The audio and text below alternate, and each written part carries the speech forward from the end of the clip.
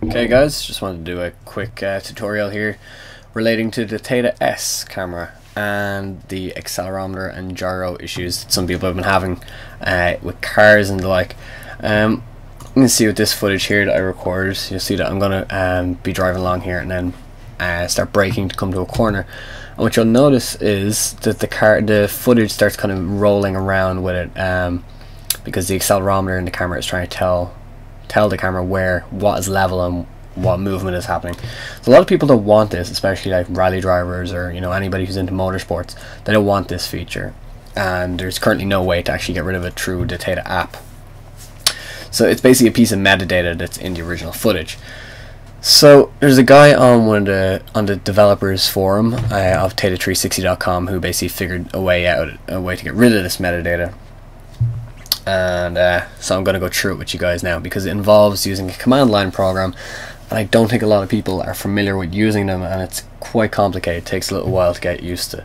So what we're going to need to start is Atomic Parsley which you can get from sourceforge.net which I will link below in the description. And then you're obviously going to need your original Theta footage this one here, not the injected footage. If you inject it it's too late. Or sorry not injected, uh, stitch it if you stitch it, it's too late. So your original footage. Now what I did just for handiness because it involves you have to kind of type this out is uh just uh rename it as a test footage. That's fine. So first thing you're going to do is open command prompt cmd and just drag it over here for handiness and you want to drag and drop atomic parsley over here and create a space. Very important you make a space. So make sure you're you've got a space there. Then drag your test footage over. This is literally just dragging and dropping. It's not a big deal. There. Now, what you can do here with Atomic Parsley is view all the metadata, uh, which comes up in a big, massive uh, line. I can just show you that real quick, actually. But now we don't need to know any of this. Um, I don't know why this is even. It doesn't. This doesn't matter. All I'm concerned about though here is with this this piece here, RDT5, because that is the metadata um, that relates to the gyro. Um, I didn't figure this out.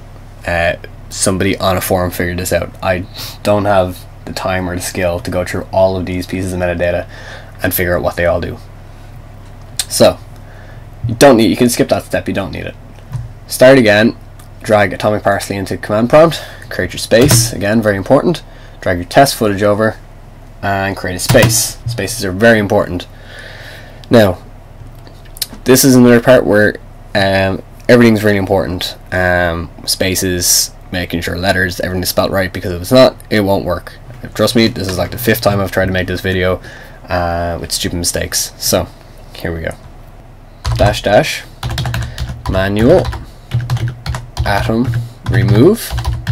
Again, uh, I'm not sure how important atom and remove be, be capitalized is, but just do it. It's easier this way space quotation moov dot udta dot capital RDT 5 end quotation. That's basically your command telling uh, Atomic Parsley to remove the RDT5 piece of metadata which relates to the gyro, which is one we want. Next thing you want to do is create a space there again, dash dash, output. Now you're going to tell Atomic Parsley what to output the footage to, or what to rename it.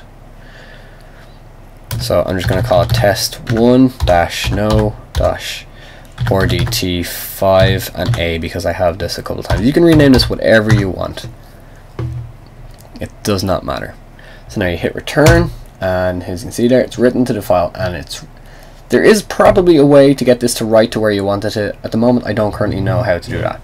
But don't worry, it's basically just saved itself to um, a default file. So you just got to start and then type in um, what you just renamed your file as, which mine or DT or TD. Actually, I renamed mine wrong. See, see this this is the problem. See here, so I should have renamed that or DT, not or TD. Doesn't matter, it's just an output name, it's fine. But here. You go to uh, open file location and you can see it's just here in my C drive. and then I can drag that back over to my folder here which is here's the one I done earlier. And then if you just you just all you need to do is drag and drop into your Theta S uh, app. And it will now stitch the video. Why is that doing that? It will now okay. It'll now stitch the video and I will get this as a result. Now don't be worried. I recorded this with the camera hanging upside down so that's not an issue. All I've done is then just bring the video file into my into whatever video editor you want. I use Premiere Pro. Not everyone's gonna have that. Use Movie Maker use um, Final Cut whatever you have and I just flipped it. There's something with VLC and now it's the exact same footage I'll bring you to the exact same point. You can see look I'm driving around I'm roll steering the car and there's absolutely no roll whatsoever.